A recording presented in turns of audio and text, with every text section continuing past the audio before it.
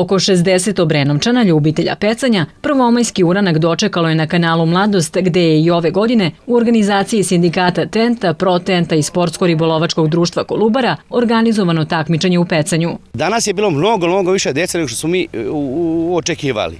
Znači, bilo je 30-40, nisam siguran, e, pogledat ću brojku. E, nas je bilo matoraca da kažemo mi seniori, bilo nas je 340 isto, znači e, da je taj prvomajski uranak uspeo.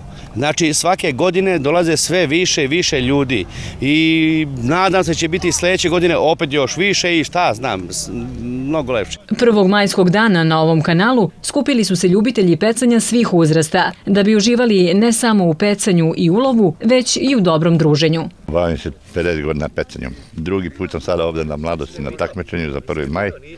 Ovaj, pecao sam na svim rekama radio sam na terenima i to i pecao sam na svim rekama, nema reke gde nisam pecao. Ovo mi je prvi put da sam ovde došao, ali inače ja živim na Zabrižu i tamo pecao na Savi, a počeo sam od šest godina da pecam. A voliš ti da pecaš? Voli. Zašto?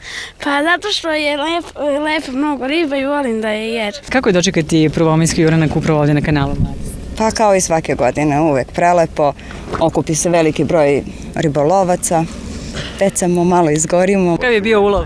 Imali smo dva komada, negdje oko 300 grama. I to je to. E, Jovane, čujem da si ti bio najuspešniji u kategoriji omladinaca na današnjem takmičenju.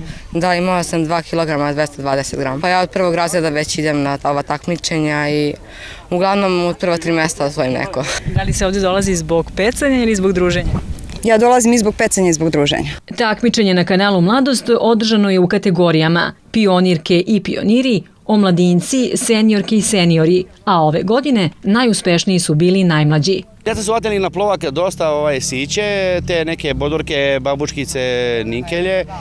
Mi matorci smo nešto malo manje, ali smo imali za razliku od bivših puta e, malo ipak sreće više. Na kraju takmičenja žiri je izmerio ribu koja je nakon toga ponovo vraćena u vodu, a oni najsrećniji i najuspešniji dobili su pehare i nagrade.